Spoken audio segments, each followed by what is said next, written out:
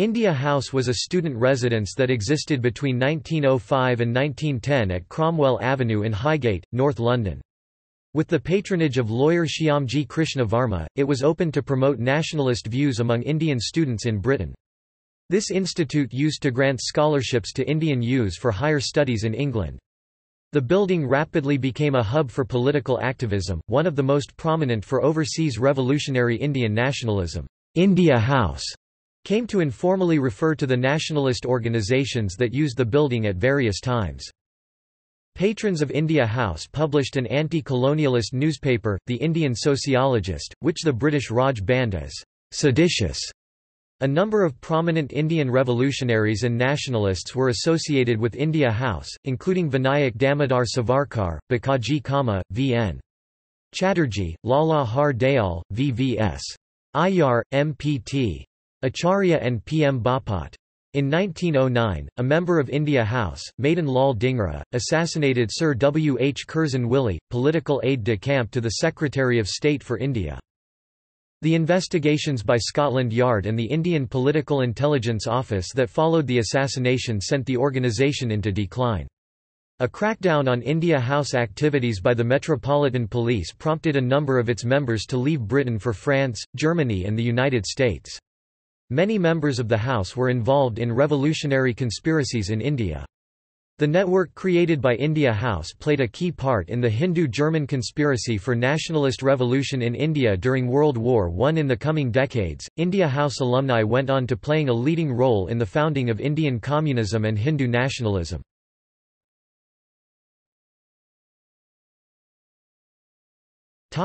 Background The consolidation of the British East India Company's rule in the Indian subcontinent during the 18th century brought about socio-economic changes which led to the rise of an Indian middle class and steadily eroded pre-colonial socio-religious institutions and barriers. The emerging economic and financial power of Indian business owners and merchants and the professional class brought them increasingly into conflict with the British Raj. A rising political consciousness among the native Indian social elite including lawyers, doctors, university graduates, government officials and similar groups spawned an Indian identity and fed a growing nationalist sentiment in India in the last decades of the 19th century. The creation in 1885 of the Indian National Congress in India by the political reformer A. O. Hume intensified the process by providing an important platform from which demands could be made for political liberalisation, increased autonomy, and social reform. The leaders of the Congress advocated dialogue and debate with the Raj administration to achieve their political goals. Distinct from these moderate voices or loyalists who did not preach or support violence was the nationalist movement, which grew particularly strong, radical and violent in Bengal and in Punjab. Notable, if smaller, movements also appeared in Maharashtra, Madras and other areas across the south. The controversial 1905 partition of Bengal escalated the growing unrest, stimulating radical nationalist sentiments and becoming a driving force for Indian revolutionaries. From its inception, the Congress had also sought to shape public opinion in Britain in favour of Indian political autonomy. The Congress's British Committee, established in 1889, published a periodical called India which featured moderate, loyalist opinion and provided information about India tailored to a British readership. The committee was successful in calling the British public's attention to issues of civil liberties in India, but it largely failed to bring about political change, prompting socialists such as Henry Hyndman to advocate a more radical approach. In 1893 an Indian Committee was established in the British Parliament as a pressure group to influence policy directly, but it grew increasingly distant from an emerging movement which advocated absolute Indian self-governance. Nationalist leaders in India such as Bipin Chandra Pal, who led the agitation against the Bengal partition and Indian students in Britain criticised the committee for what they perceived as its overcautious approach. Against this background, coincident with the political upheaval caused by the 1905 partition of Bengal, a nationalist lawyer named Shyamji Krishna Varma founded India House in London.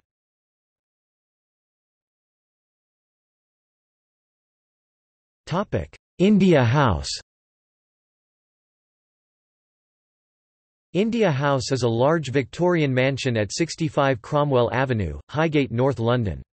It was inaugurated on 1 July 1905 by Henry Hyndman in a ceremony attended by, among others, Dadabhai Naoroji, Charlotte Despard and Bikaji Cama. When opened as a student hostel in 1905, it provided accommodation for up to 30 students. In addition to being a student hostel, the mansion also served as the headquarters for several organizations, the first of which was the Indian Home Rule Society IHRS.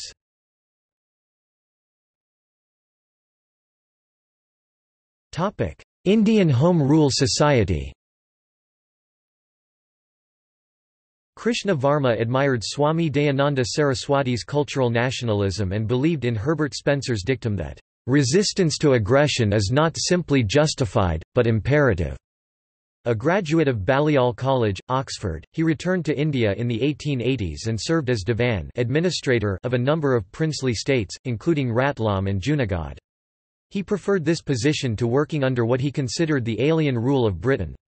However, a supposed conspiracy of local British officials at Junagadh, compounded by differences between Crown authority and British political residents regarding the states, led to Varma's dismissal. He returned to England, where he found freedom of expression more favourable.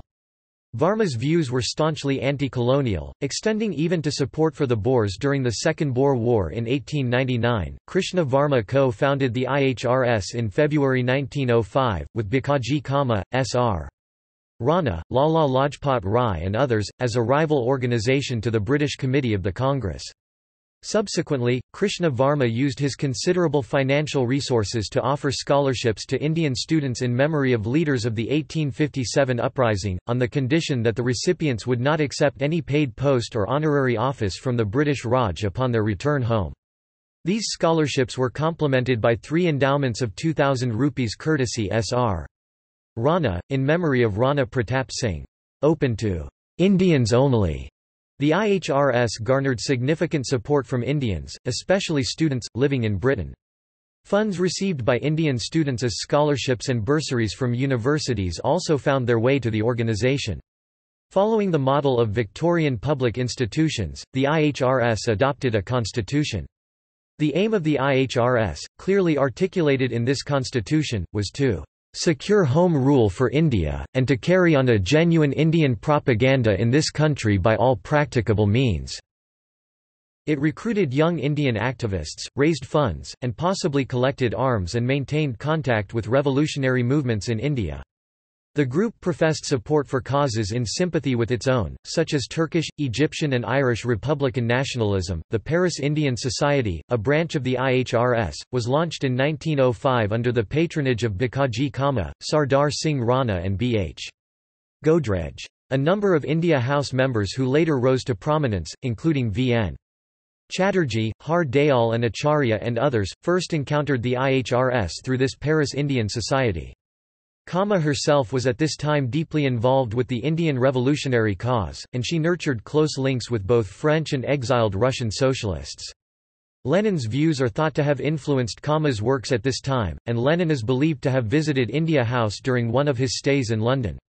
In 1907, Cama, along with V.N. Chatterjee and S.R. Rana, attended the Socialist Congress of the Second International in Stuttgart. There, supported by Henry Hyndman, she demanded recognition of self-rule for India and in a famous gesture unfurled one of the first flags of India.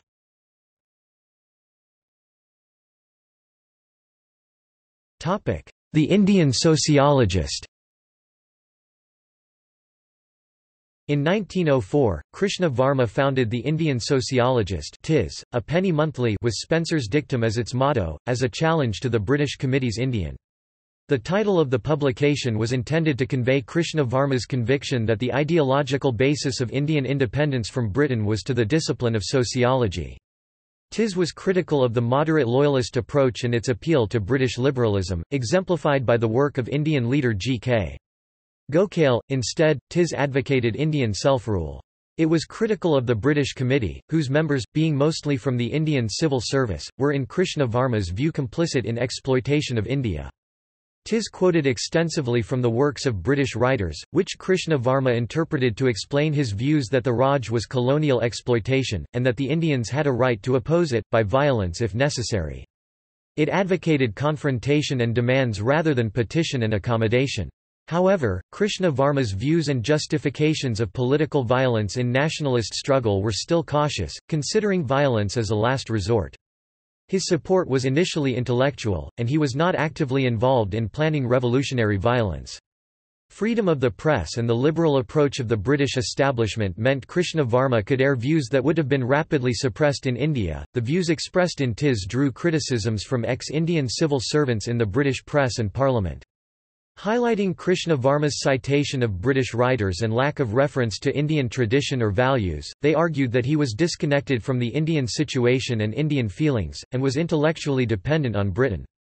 Valentine Chirol, foreign editor of The Times, who had close associations with the Raj, accused Krishna Varma of preaching disloyal sentiments to Indian students, and demanded he be prosecuted. Chirol later described India House as the most dangerous organization outside India. Krishna Varma and Tis also drew the attention of King Edward VII. Greatly concerned, the king asked John Morley, the Secretary of State for India, to stop the publication of such messages. Morley refused to take any action contrary to his liberal political principles, but Chirol's tirade against Tis and Krishna Varma forced the government to investigate. Detectives visited India House and interviewed the printers of its publication. Krishna Varma saw these actions as the start of a crackdown on his work and, fearing arrest, moved to Paris in 1907. He never returned to Britain.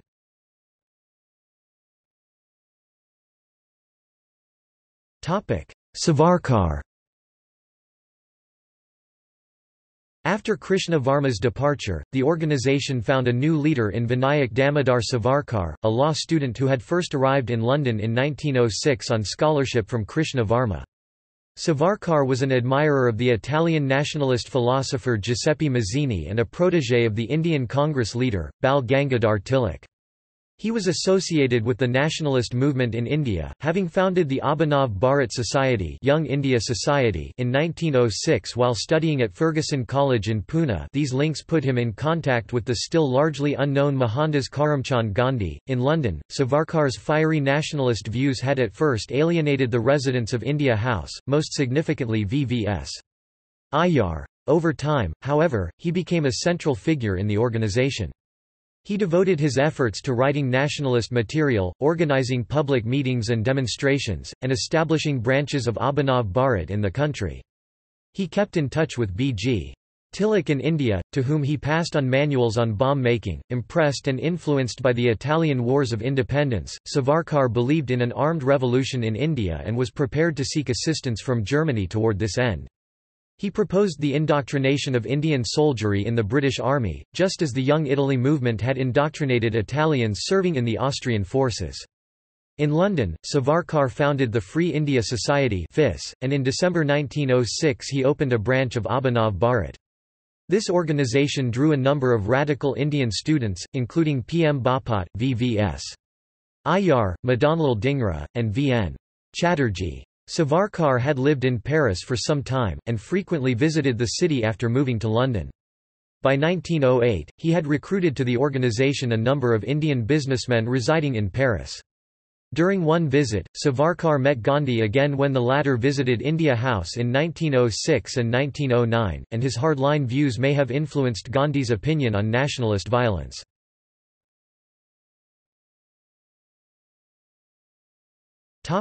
Transformation India House, which now housed the Abhinav Bharat Society and its relatively peaceful front the Free India Society, rapidly developed into a radical meeting ground quite different from the IHRS. Unlike the latter, it became wholly self-reliant with regard to finances and organization, and it developed independent nationalist ideologies that moved away from European philosophies. Under Savarkar's influence, it drew inspiration from past Indian revolutionary movements, religious scriptures including the Bhagavad Gita, and Savarkar's own studies in Indian history, including the Indian War of Independence.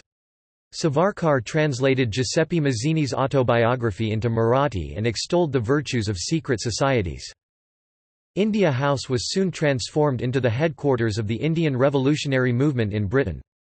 Its newest members were young men and women in London who came from all over India. A large number, each comprising about a quarter of the total membership, were from Bengal and Punjab, while a significant but smaller group came from Bombay and Maharashtra. The Free India Society had a semi-religious oath of initiation, and served as a cover for the Abhinav Bharat Society's meetings. The members were predominantly Hindus. Most were students in their mid-twenties, and usually belonged to the Indian social elite, from families of millionaires, mill owners, lawyers and doctors.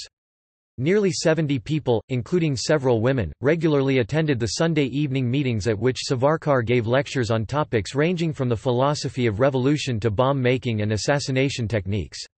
Only a small proportion of these recruits to the society were known to have previously engaged in political activity or the Swadeshi movement in India. Abhinav Bharat Society had two goals to create through propaganda in Europe and North America an Indian public opinion in favour of nationalist revolution, and to raise funds, knowledge, and supplies to carry out such a revolution. It emphasized actions of self sacrifice by its members for the Indian cause. These were revolutionary activities which the masses could emulate, but which did not require a mass movement. The outbuilding of India House was converted to a war workshop, where chemistry students attempted to produce explosives and manufacture bombs, while the printing press turned out seditious literature, including bomb-making manuals and pamphlets promoting violence toward Europeans in India. In the house was an arsenal of small arms that were intermittently dispatched to India through different avenues. Savarkar was at the heart of these, spending a great deal of time in the explosives workshop and emerging on some evenings, according to a fellow revolutionary, with telltale yellow stains of picric acid on his hands. The residents of India House and members of Abhinav Bharat practiced shooting at a range in Tottenham Court Road in central London, and rehearsed assassinations they planned to carry out. The deliveries of weapons to India included, among others, a number of Browning pistols smuggled by Chaturbhuj Amin, Chanjeri Rao, and VVS Aiyar when they returned to India. Revolutionary literature was shipped under false covers and from different addresses to prevent detection by Indian postal authorities. Savarkar's The Indian War of Independence was published in 1909 and was considered inflammatory enough to be removed from the catalogue of the British Library to prevent Indian students from accessing it.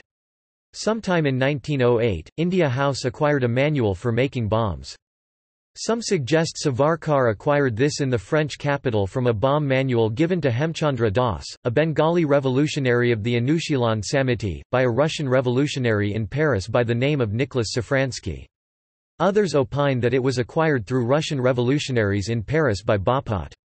Bapat was declared absconder a fugitive in the Alipore bomb case of 1909, which followed the attempt to bomb a district magistrate's carriage in Bengal by Khudiram Bose. By 1908, the popularity of the India House Group had overtaken the London Indian Society established in 1865 by Dadabhai Naoroji and until then the largest association of Indians in London. Subsequently, India House took over the control of Lee when, at the annual general meeting that year, members of India House packed the gathering and ousted the old guard of the society.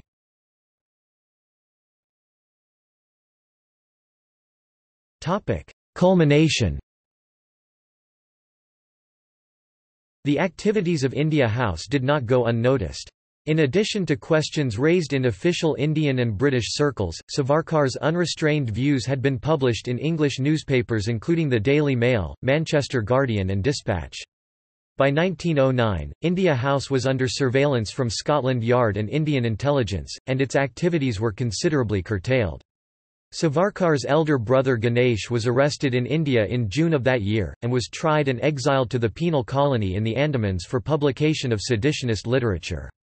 Savarkar's speeches grew increasingly strident and called for revolution, widespread violence, and murder of all Englishmen in India.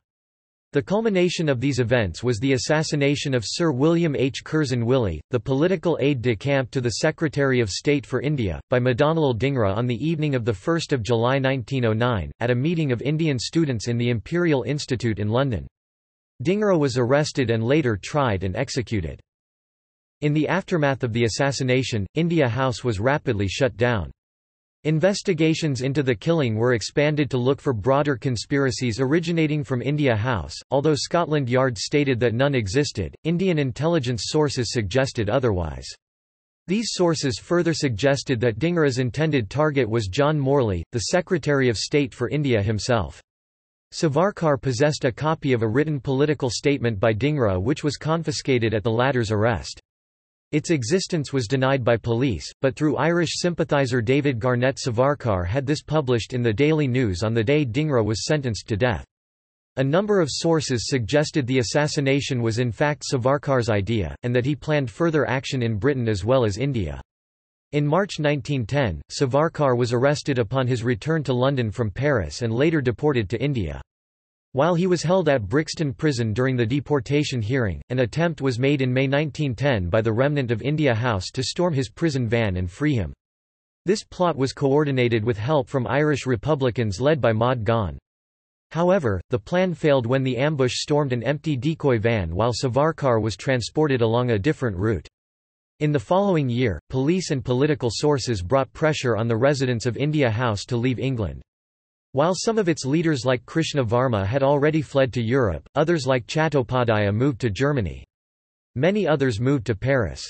With the influence and work of a large number of nationalist students moving to the city, the Paris Indian Society gradually took India House's place as the centre of Indian nationalism on the continent.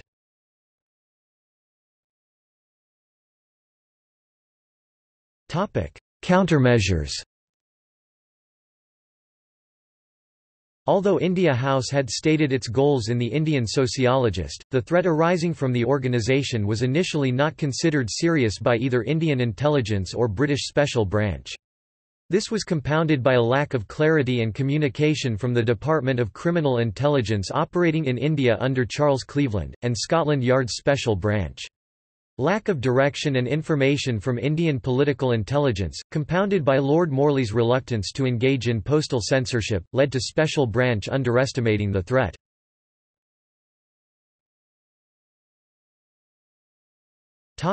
Scotland Yard In spite of these problems, and although Special Branch was wholly inexperienced in dealing with political crime, the first observations of India House by Scotland Yard began as early as 1905. Detectives attended Sunday meetings at India House in May 1907, where they gained access to seditious literature. The appearance of one agent, disguised as an Irish American by the name of O'Brien, convinced Krishna Varma of the need to decamp to Paris.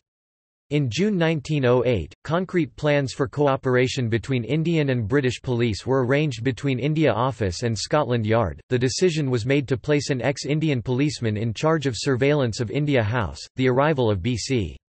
Pal and G.S. Khaparde in London in 1908 further stirred the matter, since both were known to have been radical nationalist politicians in India. By September 1908, an agent had been installed within India House who was able to invite detectives to the Sunday night meetings of the Free India Society attendance for Europeans was by invitation only. The agent passed on some additional information, but was not able to infiltrate Savarkar's inner circle.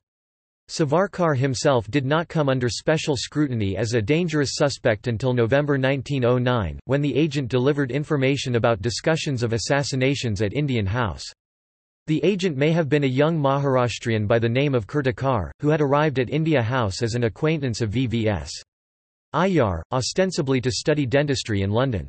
Kirtikar was discovered after Aiyar made inquiries at the London hospital where he was supposed to be training, and was one night forced by Savarkar to confess at gunpoint. After this incident, Kirtikar's reports were probably screened by Savarkar before they were passed on to Scotland Yard. MPT Acharya was at this time instructed by Aiyar and Savarkar to set himself up as an informer to Scotland Yard. They believed this would provide information to the police and help corroborate the reports sent by Kirtikar. Although it pursued Indian students and shadowed them closely, Scotland Yard was severely criticised for its inability to penetrate the organisation. The Viceroy's secretary, William Lee Warner, was assaulted twice in London. He was slapped in the face in his office by a young Bengali student named Kunjalal Bhattacharjee and assaulted in a London park by another Indian student. The Yard's inefficiency was blamed for these events.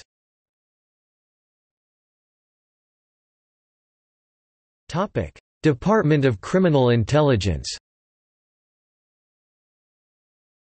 Unknown to Scotland Yard, by the beginning of 1909 the Indian Department of Criminal Intelligence DCI had made covert efforts of its own to infiltrate India House, with more success. An agent named C. had been residing in India House for nearly a year. After convincing the residents that he was a genuine patriot, he began reporting back to India.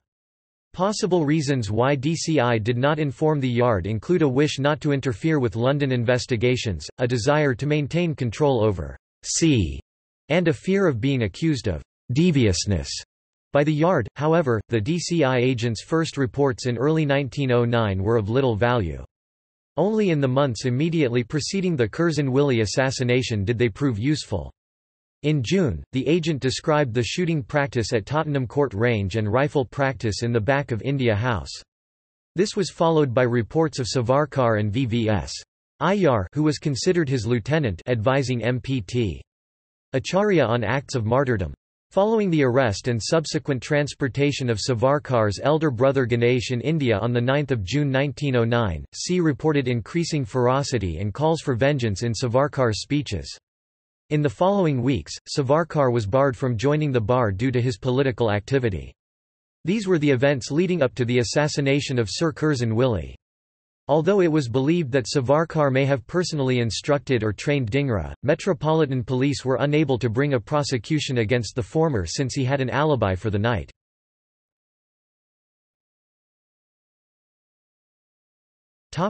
Indian Special Branch In the aftermath of Curzon Wyllie's assassination, Metropolitan Police Special Branch was reorganized in July 1909 following a meeting between India Office and the Commissioner of Police Sir Edward Henry. This led to the opening of an Indian Special Branch with a staff of 38 officers by the end of July. It received considerable resources during the investigation of Curzon Wyllie's assassination, and satisfied the demands of Indian criminal intelligence with regard to monitoring the Indian seditionist movement in Britain. The police brought strong pressure on India House and began gathering intelligence on Indian students in London. These, along with threats to their careers, robbed India House of its student support base.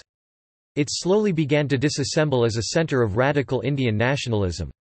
As Tirumal Acharya described bitterly, the residence was treated akin to a leper's home by the Indian students in the city.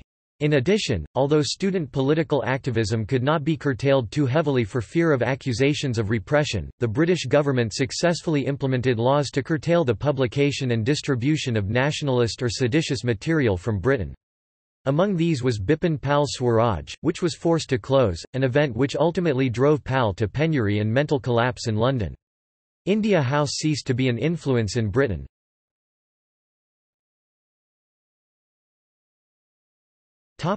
Influence Political activities at India House were chiefly aimed at young Indians, especially students, in Britain. Political discontent was at the time growing steadily among this group, especially those in touch with the professional class in India and those studying in depth the philosophies of European liberalism. Their discontent was noted among British academic and political circles quite early on, with some voicing fear that these students would take refuge in extremist politics.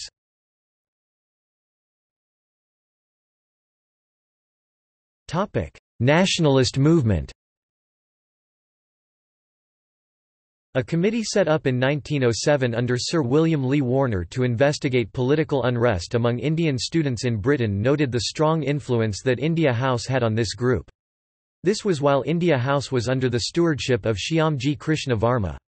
Indian students who discussed the community at the time described the growing influence of India House, especially in the context of the 1905 partition of Bengal, and attributed to this influence the decrease in the number of Indian applicants for government posts and the Indian civil service. The Indian sociologist attracted considerable attention in London newspapers. Others, however, disagreed with these views and described India House's appeal as limited. S. D. Baba, president of the Indian Christian Union, once described Krishna Varma as a man, "...whose bark was worse than his bite." Under Savarkar, the organization became the focus of the Indian revolutionary movement abroad and one of the most important links between revolutionary violence in India and Britain. Although the organization welcomed both moderates and those with extremist views, the former outnumbered the latter. Significantly, a number of the residents, especially those who agreed with Savarkar's views, did not have any history of participation in nationalist movements in India, suggesting they were indoctrinated during their stay at India House. More significantly, India House was a source of arms and seditious literature that was rapidly distributed in India. In addition to the Indian sociologist, pamphlets like Bande Mataram and O Martyrs, by Savarkar extolled revolutionary violence. Direct influences and incitement from India House were noted in several incidents of political violence, including assassinations, in India at the time. One of the two charges against Savarkar during his trial in Bombay was for abetting the murder of the district magistrate of Nasik, A.M.T. Jackson, by Anant Kanhere in December 1909. The arms used were directly traced through an Italian courier to India House. Ex-India House residents MPT. Acharya and VVS. Aiyar were noted in the Rowlatt report to have aided and influenced political assassinations, including the murder of Robert D'Escourt Ashe at the hands of Vanchi Iyer. The Paris-Safranski link was strongly suggested by French police to be involved in the 1907 attempt in Bengal to derail the train carrying the Lieutenant Governor Sir Andrew Fraser. The activities of nationalists abroad is believed to have shaken the loyalty of a number of native regiments of the British Indian Army. The assassination of Curzon Wyllie was highly publicised. The symbolic impact of Dhingra's actions on the colonial authorities and on the Indian revolutionary movement was profound at the time. The British Empire had never been targeted in its own metropolis. Dhingra's last statement is said to have earned the admiration of Winston Churchill, who described it as the finest ever made in the name of patriotism. India House and its activities had some influence on the subsequent nonviolent philosophy adopted by Gandhi. He had met some members of India House, including Savarkar, in London as well as in India, and disagreed with the adoption of nationalist and political philosophies from the West. Gandhi dismissively labelled this revolutionary violence as anarchist and its practitioners as the modernists. Some of his subsequent writings, including Hind Swaraj, were opposed to the activities of Savarkar and Dhingra, and disputed the argument that violence was innocent if perpetrated under a nationalist identity or while under colonial victimhood. It was against this strategy of revolutionary violence, and in recognition of its consequences, that the formative background of Gandhian nonviolence was framed.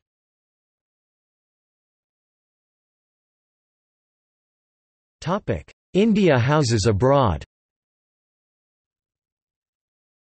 Following the example laid by the original India House, India houses were opened in the United States and in Japan. Krishna Varma had built close contacts with the Irish Republican movement. As a result, articles from the Indian sociologist were reprinted in the United States in the Gaelic American. In addition, with the efforts of the growing Indian student population, other organizations mirroring India House emerged. The first of these was the Pan-Aryan Association, modelled after the Indian Home Rule Society, opened in 1906 through the joint Indo-Irish efforts of Muhammad Barkatullah, S.L. Joshi and George Freeman. Barkatullah himself had been closely associated with Krishna Varma during his earlier stay in London, and his subsequent career in Japan put Barkatullah at the heart of Indian political activities there. The American branch also invited Bikaji Cama, who at the time was close to the works of Krishna Varma, to give a series of lectures in the United States.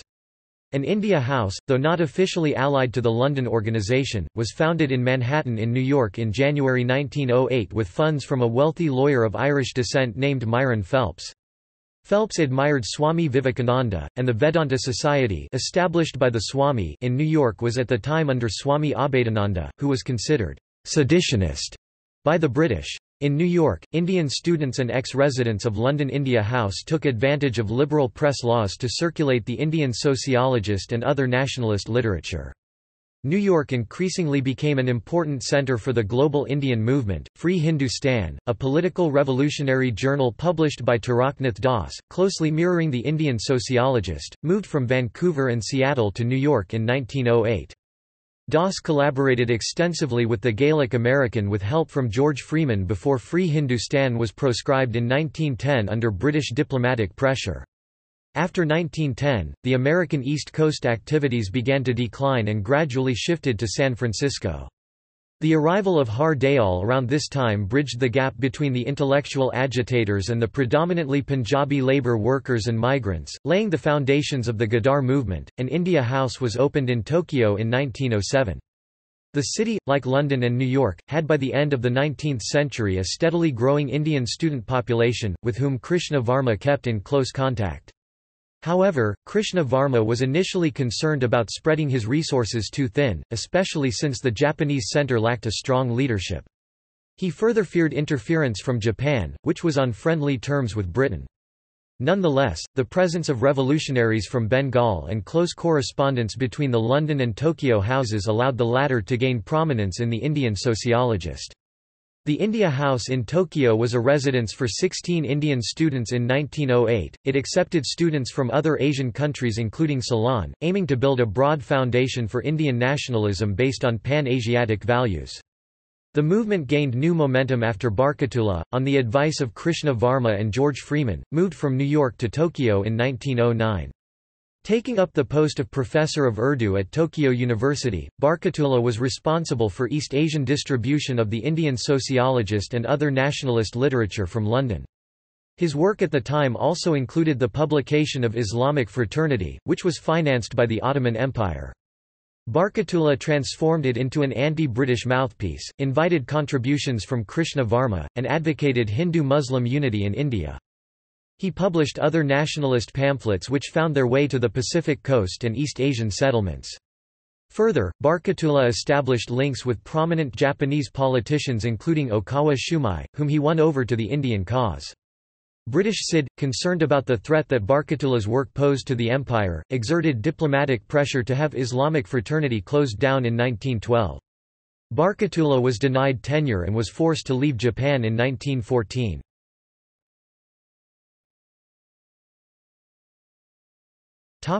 World War I Following the liquidation of India House in 1909 and 1910, its members gradually dispersed to different countries in Europe, including France and Germany, as well as the United States. The network founded at India House was to be key in the efforts by the Indian revolutionary movement against the British Raj through World War I. During the war, the Berlin Committee in Germany, the Ghadar Party in North America, and the Indian Revolutionary Underground attempted to transport men and arms from United States and East Asia into India, intended for a revolution and mutiny in the British Indian Army. During the conspiracy, the revolutionaries collaborated extensively with the Irish Republican Brotherhood, Sinn Féin, Japanese patriotic societies, Ottoman Turkey and, most prominently, the German Foreign Office. The conspiracy has since been called the Hindu-German conspiracy. Among other efforts, the alliance attempted to rally Afghanistan against British India. A number of failed mutinies erupted in India in 1914 and 1915, of which the Ghadar conspiracy, the Singapore mutiny, and the Christmas Day plot were the most notable. The threat posed by the conspiracy was key in the passage of the Defence of India Act 1915, and suppression of the movement necessitated an international counter-intelligence operation on the part of the British Empire lasting nearly ten years. Among the more famous recruits of this intelligence operation was W. Somerset Maugham, tasked to assassinate V. N. Chatterjee, who worked with the Berlin Committee.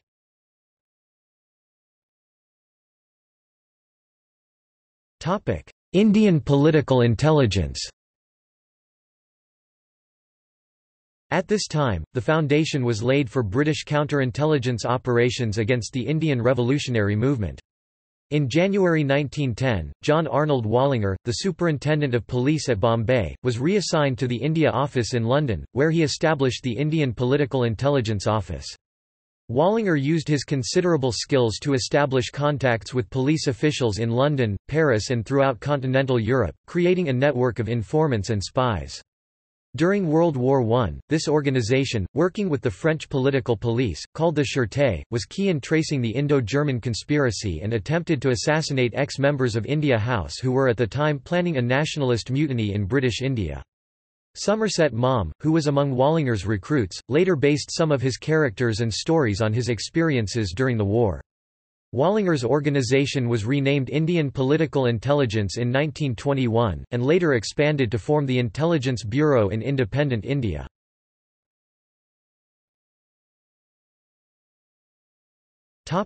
Indian communism From the time it was founded, India House cultivated a close relationship with socialist movements in Europe. Prominent socialists of the time like Henry Hyndman were closely linked to the House. Cama cultivated a close relationship with French socialists and Russian communists. The IHRS delegation to Stuttgart in 1907 is known to have met with Hyndman, Karl Liebknecht, Jean Jaurès, Rosa Luxemburg and Ramsay MacDonald. Chatterjee moved to Paris in 1909 and joined the French Socialist Party. MPT. Acharya was introduced to the Socialist Circle in Paris in 1910. With the help of the socialists in Paris, notably Jean Longuet, the Paris Indian Society brought pressure on the French government when Savarkar was rearrested at Marseille after escaping from a ship that was deporting him to India. Acharya utilized press freedom in France and the socialist platform to press for Savarkar's re-extradition to France and built French public opinion in support of such moves. Under public pressure at home, the French government conceded and made a request to Britain, which was ultimately settled in Britain's favour at the Permanent Court of Arbitration at The Hague. The Paris Indian Society became one of the most powerful Indian organizations outside India at the time, and grew to initiate contacts with not only French socialists, but also those in continental Europe. It sent delegates to the International Socialist Congress in August 1910, where Krishna Varma and Iyer succeeded in having a resolution passed demanding Savarkar's release and his extradition to France. After World War I, ex members of India House and erstwhile members of the Berlin Committee and the Indian Revolutionary Movement increasingly turned to the young Soviet Union, becoming closely associated with communism. The Berlin India Committee moved to Stockholm after the war. Led by V. N. Chatterjee, the committee wrote to Leon Trotsky to secure Bolshevik aid for the accused at the Hindu-German conspiracy trial. Many involved in the conspiracy subsequently moved to Soviet Russia. When the Communist Party of India was founded in Tashkent in October 1920, a number of its founding members, including MPT Acharya, Virendranath Chatterjee, Chempakaraman Pillai and Abdul Rab, had been associated with India House or the Paris Indian Society. Individuals like Acharya attended the Second Congress of the Communist International. Chatterjee and Acharya later worked with the League Against Imperialism. Moving to Weimar Germany after the war, Chatterjee's program of revolutionary nationalism developed into the Indian Independence Party in 1922 which won Chicherin's approval and Comintern funding. Chatto later joined the German Communist Party. In 1927, Chatto accompanied Jawaharlal Nehru to the Brussels Conference of the League Against Imperialism. However support from Soviet Russia for Chatterjee's program waned as M. N. Roy, a Bengali revolutionary in Moscow previously of the Anushilan Samiti was considered more close to ideology of Marxism than Chatterjee's aims of nationalist revolution. Roy steadily developed the Indian Communist Party with Stalin's encouragement and support. Chatterjee and Pillai later moved to Soviet Russia where they are believed to have been shot in Stalin's purges. Hindu nationalism A branch of the nationalist and revolutionary philosophy that arose from India House, especially from the works of V.D. Savarkar, was consolidated in India in the 1920s as an explicit ideology of Hindu nationalism. Exemplified by the Hindu Mahasabha, it was distinct from Gandhian devotionalism, and acquired the support of a mass movement that has been described by some as chauvinist. The Indian War of Independence is considered one of Savarkar's most influential works in developing and framing ideas of masculine Hinduism. Amongst Savarkar's work during his stay at India House was a history of the Maratha Confederacy which he described as an exemplary Hindu empire Hindu Padpadshahi. Further, the Spencerian theories of evolutionism and functionalism that Savarkar examined at India House strongly influenced his social and political philosophy, and helped lay the foundations of early Hindu nationalism. It charted the latter's approach to state, society and colonialism, and Spencer's doctrines led Savarkar to stress a «rationalist» and «scientific» approach to national evolution, as well as military aggression for national survival. A number of his ideas featured prominently in Savarkar's works well into his political writings and works with the Hindu Mahasabha.